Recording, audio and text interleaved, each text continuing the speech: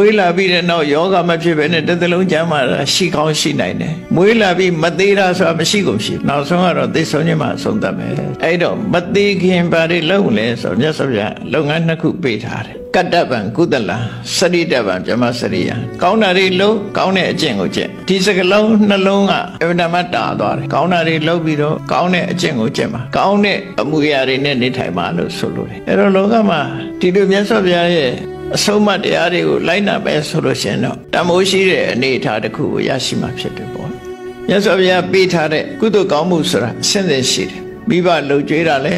ဗဒ္ဓမတန်ဖိုးရှိတဲ့ကုသိုလ်ကောင်းမှုတစ်ခုဖြစ်တယ်ပိစေသင်္ကအပေါင်းအသင်းကိုကူညီဆောင်ရွက်တာလည်းပဲအမှန်တန်ကောင်းတဲ့အခြင်းပဲသူစရတရားတွေကျင့်သုံးနေထိုင်တာလည်းအမှန်တန်ကောင်းတဲ့အခြင်းပဲဒီအခြင်းတွေဟာ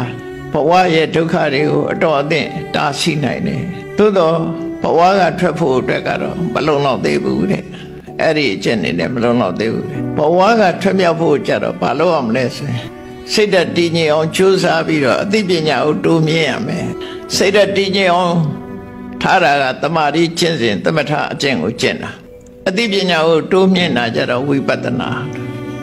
အဲ့ဒါနှစ်ခုမလုပ်ဖဲနဲ့ဘဝကမထွက်နိုင်ဘူးလူတိုင်းလူတိုင်းဟာ